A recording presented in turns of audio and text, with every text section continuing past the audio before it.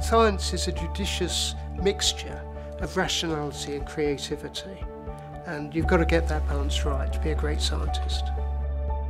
How many times have we all begun experiments and then we see something happening which we didn't expect? Now, the great scientist is the one who drops everything and says, wait a minute, something's happened here. That's what science is all about. That ability to be flexible, creative, and imagine what's really going on.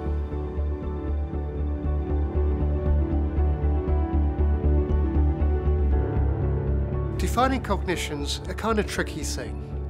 We're talking about many different brain systems. There's brain systems for memory and learning and what we call executive function. Executive function is all about decision making, placing restraint over your behaviour in certain social situations.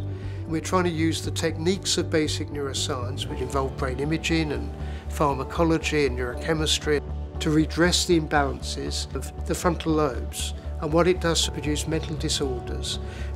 We introduced touchscreens for testing humans' cognitive functions as an instrument for assessing memory disorders. The idea is that instead of asking questions, we might show you visual icons on the screen and ask you to remember where they were on the screen. We can work out which brain networks are malfunctioning. We may be opening up new approaches, new avenues for therapy, which cut across disorders. The Patricia Goldman Rakic Award means a lot to me. This is a real salute in this area of cognitive neuroscience.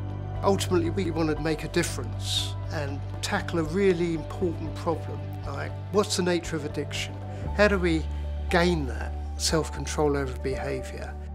Understanding how the brain works is the last big frontier.